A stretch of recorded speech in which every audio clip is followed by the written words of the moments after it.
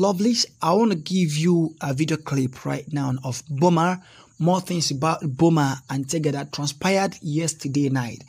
Like, when I made this video for the first time, I was saying that things like fingering and some other things happened. Some people were arguing, some were, some were like attacking me, saying, why should this blogger do this, do that? Okay, watch this video. I will still give you more so that you see what transpired between Boma and Tega, which is so painful, like so painful, honestly.